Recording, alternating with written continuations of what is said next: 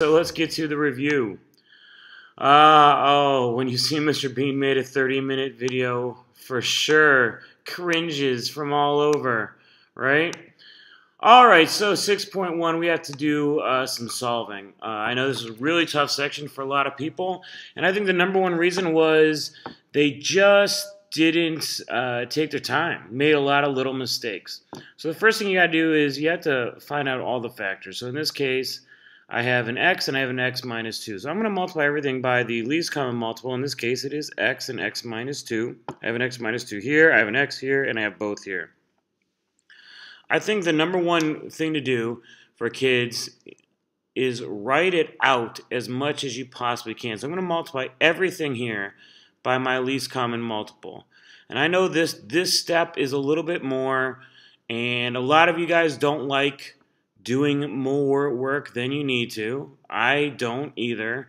I just think if you have problems with this, this may be a good solution for you. So I'm going to do this first one with every single thing shown. All right.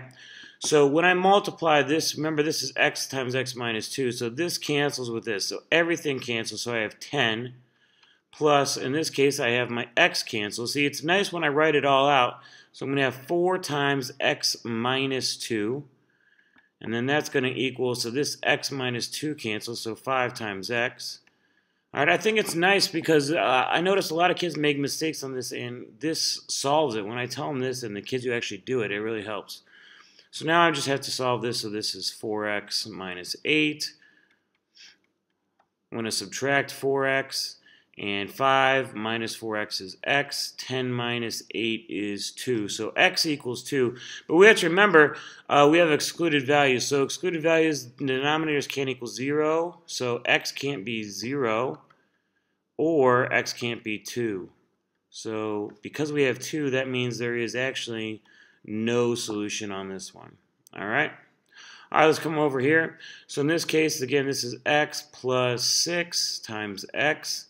This is x plus 6 times x. So my my least common multiple is x and x plus 6. All right.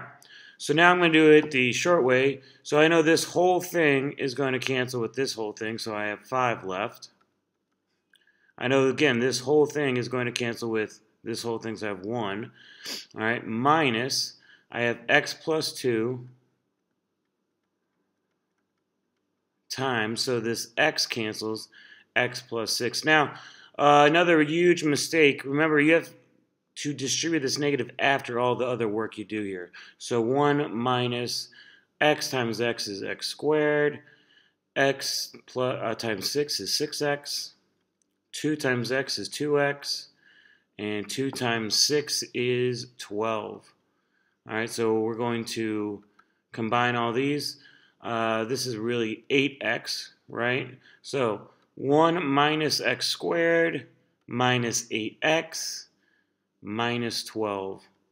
All right, so I need a I need a positive x squared, so I'm going to bring everything to this side, so I'm going to add x squared. I'm going to add 8x. And this is 1 minus 12 is negative 11, so I'm going to add 11, and that gives me 16. All right, so I need to factor this two numbers that multiply to 16 and add to 8. That's actually x plus 4 times x plus 4. So in this case, it's the same answer. So x plus 4 equals 0. So x equals negative 4. All right. Is that an excluded value? No, our excluded values this time would be 0 and negative 6. So that one will work. This happens all the time you know, you guys turn in packets and it's not done and you still think you should get a match check. It, it cracks me up too. All right, over here we're going to multiply. So we, again, we want the uh, least common multiple. So I have 2u plus 5 and I'm going to do that on top and bottom. All right, and I also have a factor of u minus 2. All right, so let's see, when I multiply this first thing by 2u plus 5, that cancels, so u plus 1 times u minus 2 plus, this cancels again, so I have 25 times u minus 2. All of that over, So 2u, this cancels again, so I have u plus 1 times u minus 2 again, and notice those are the same.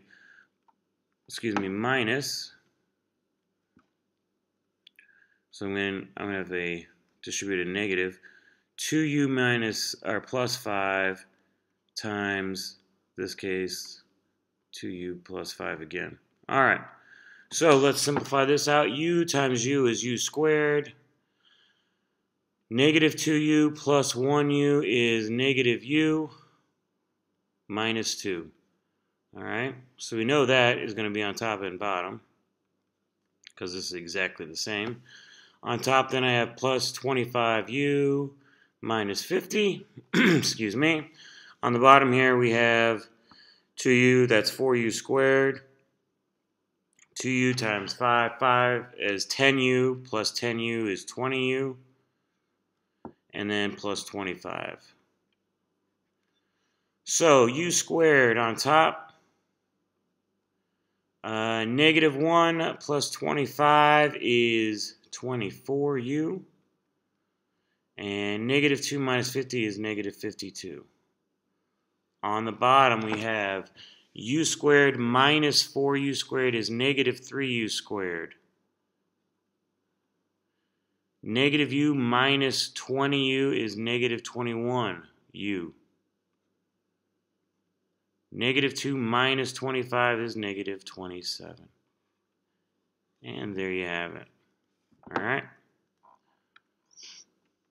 So let's take a look over here. This time, oh yeah, we have to multiply by the conjugate. Big, big, big thing with the conjugate here is you have to remember the conjugate is the only thing that changes is that middle sign. So I'm going to do u plus 3 minus, or excuse me, x plus 3 minus x plus 2 here, and then I multiply it on top, x plus 3 minus x plus 2. So again, on the top, remember, we're not going to bother multiplying this out, but you have to include this as uh, parentheses. So then it's that times x plus 3 minus x plus 2. On the bottom, remember, we're double distributing, and what happens is I have x plus 3 times x plus 3, so that's going to be, the square root of that times the square root of that is actually going to be x plus 3. All right? When I multiply this, it's going to cancel the inside, so then it's minus x plus, the square root of x plus 2 times the square root of x plus 2, which is just x plus 2. All right, the worst thing we, we've been doing, we have to distribute this, so negative x and minus 2. So on top I have 4 minus x, square root of x plus 3, minus the square root of x plus 2. All of that over, x minus x cancels. 3 plus negative 2 is 1, so hey, check it out. Over 1 really doesn't mean anything, so we have it right there. All right, 6.3. I actually think this is kind of cool section. I guess this is a dorky math teacher part of me. First thing we want to do is, let's factor it so we have it. Um, two numbers that multiply to 6 and add to 5, x plus 2 and x plus 3. Two numbers that multiply to negative 12 and add a negative 4, x minus 6 and x plus 2, right?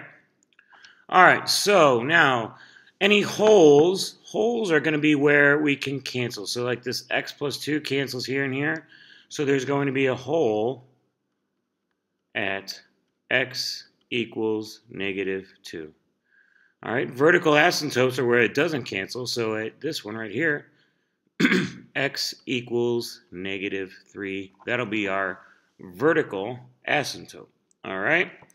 Uh, let's go down here, find our y-intercept. That's when x is 0. So when x is 0, these all cancel. 0 squared, 0. So that's going to be negative 12 over 6. Negative 12 over 6 is negative 2.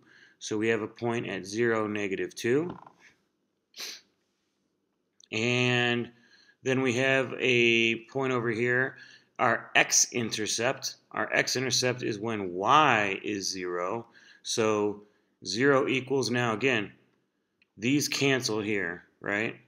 Boom, boom. So this is really x minus 6 over x plus 3. Multiply 0 times x plus 3 is 0 equals x minus 6. So actually x equals 6. So we'll have a point at x equals 6 and 0. Horizontal or slant asymptote. So slant asymptote. Excuse me. So our rules. If the top is smaller than the bottom, we have one at y equals 0. Uh, so these are the same. Uh, rule number two, when the top is bigger, there is no horizontal asymptote. That'll be a slant asymptote and we'll have to divide. And then the rule number three, when they are the same, you divide the coefficients. So coefficients here are 1 and 1. So 1 divided by 1, we're going to have a horizontal asymptote at y equals 1. All right, so let's graph. Let's graph everything we can. So the first thing we know, we can graph this hole at x equals negative 2, right? So, well, we can't graph that just yet. We'll get to that in a second. There's going to be a vertical asymptote at x equals negative 3, so... Very carefully. All right, so we have we have an asymptote right there. We also know there's going to be a y-intercept at 0, negative 2 right there.